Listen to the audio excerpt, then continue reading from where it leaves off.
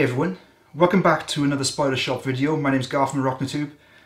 Uh, these are two Chilobrachys species, so I thought I'd show you the difference between them. This on the on your left, on my right, is Kaeng Krachan, and on my left is Huahini.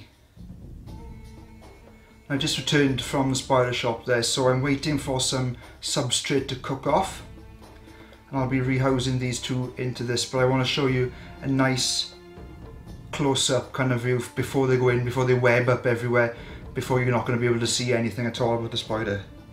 So without further ado, this is Chilobrachys species. Jet black monster, battle scarred in the abdomen. This is Chilo, uh, or Chilobrachys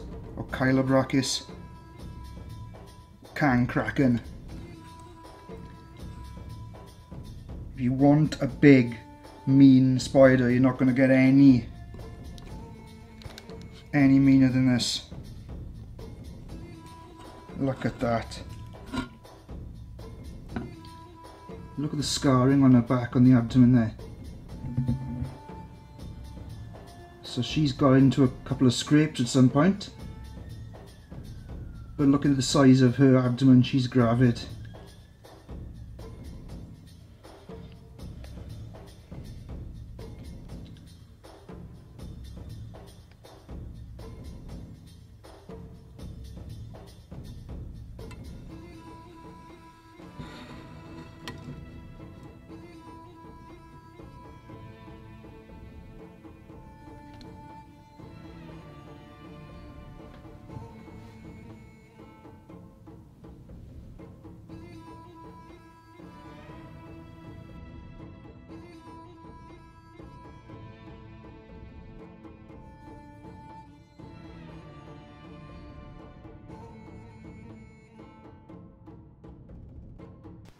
Okie dokie, so what we'll do first is the Huahini.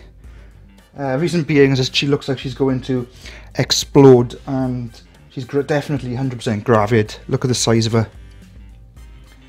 And uh, in the shop, they found a few uh, egg sacs on, on the shelves.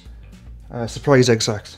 So um, this one, uh, I think any day now could, could drop. So I'm going to make sure that this one's done first, then we'll do that one, and then uh, I'll show you the both. So here we do first, wasn't it? Just go in, don't, like you do with a house spider, don't give her the opportunity to, to run. I'm probably in your way now. Go in you And now she can stay, look, watch your feet. Watch your feet, darling make sure you've got a tight pot and we can just pop it there so you guys can see her while I'm making a house. So this is open, this is closed, right? First thing we want to do is give her a load of substrate. I've got my bucket of substrate here. I'm literally just going to pile it in more the merrier with this species. Now you'll notice that I'm setting it up into a terrestrial tank. That's not a problem with uh, Chilobrachys because even though they are a fossorial spider and you will find them in burrows in the in the wild, majority of the time they're just literally just under roots and uh, short uh, and little divots and stuff in the ground because they make a huge webs thick, thick, thick webbing. Oh, more than the GBB, more than uh, Chromatopelma. Pretty much more than anything else in the hobby. These are crazy, crazy webbers.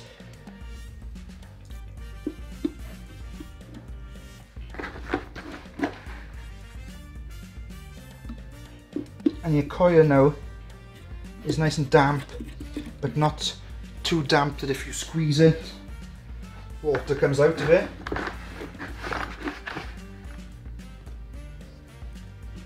Right.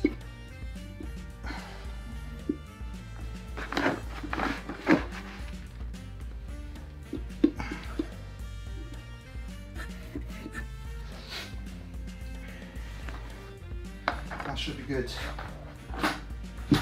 Right then, let's get some, build some stuff up and decorate it a bit.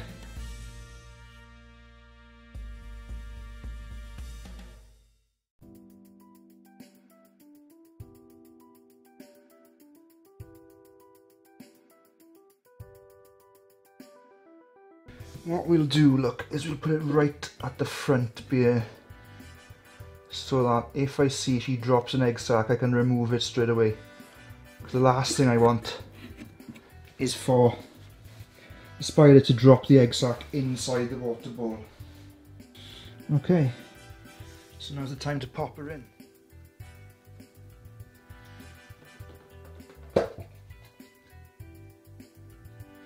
This girlie is good Will she walk in? Walk her in. Come on. A little bit forceful. A big girl. She's like, look, I'm, I'm preggers. You never see a Chilobrachys just walk in like that normally. Look at the size of her.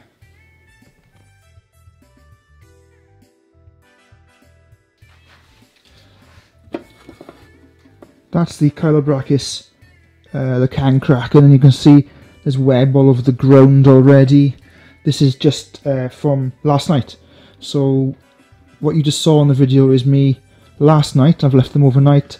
There's a lot of web in there. Let's check on the Huahini, so the Chilobrachys Huahini.